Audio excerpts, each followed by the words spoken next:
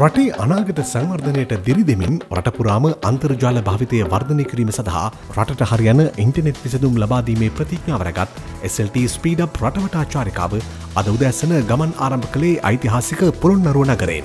Fibre cable සමඟ SLT smart line සේවාවද telephone line සමඟ ADSල් පහසුකමද වයලයින් නැති තැනට 4GLTE සේවාවද සපයන ප්‍රතිඥාවරගත් චාරිකාව මගතොටදී හමුවන ජනතාව මුණගැහිමින් අදහස් හෝමාරු කර ගැනීම විශේෂත්වයක්.